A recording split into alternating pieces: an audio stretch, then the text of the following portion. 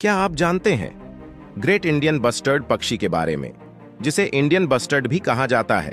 इसकी सबसे बड़ी आबादी भारत के राजस्थान राज्य में पाई जाती है। 2008 में केवल 50 से 250 पक्षी बचे थे।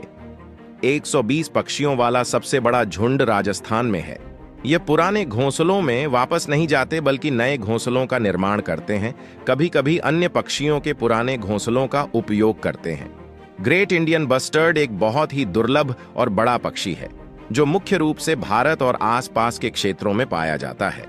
ये बहुत बड़ा है।